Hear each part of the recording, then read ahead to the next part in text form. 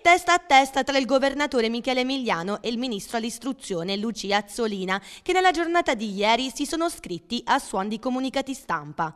A detta del rappresentante del governo sarebbero giunte numerose segnalazioni da parte della comunità scolastica pugliese e delle famiglie che hanno manifestato confusione e disorientamento rispetto ad alcuni punti dell'ordinanza emanata dalla regione e alle pronunce di diverso segno da parte del giudice amministrativo pugliese dei giorni scorsi.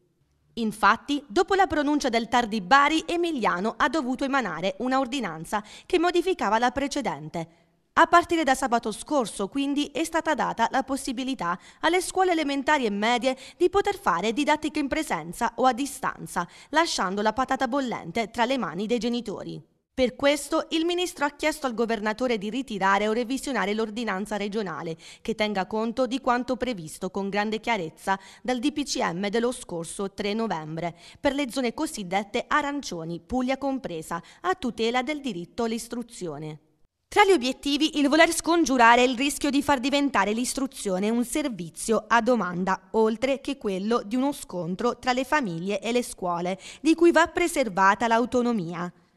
Non è un modello alternativo scolastico a quello indicato dalla Costituzione, ha spiegato Emiliano.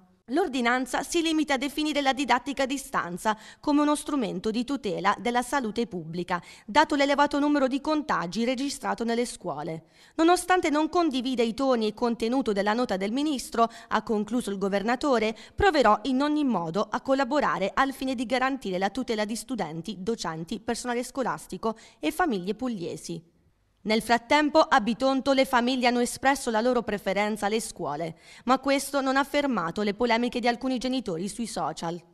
Tutte le scuole sono state riaperte, ma con diverse modalità. Ha confermato ai microfoni di Radio 00 l'assessore alla pubblica istruzione di Bitonto, Marina Salierno. Le scuole Giuseppe Cagliati e Vito Felice Cassano sono riaperte con la didattica in presenza e così anche l'istituto comprensivo Modugno Rutiliano Rogadeo, però solo nei plessi dell'infanzia e con gli alunni di prima elementare. Invece la scuola elementare Fornelli e Media Silos stanno adottando la formula mista, dando precedenza precedenza però alla didattica a distanza.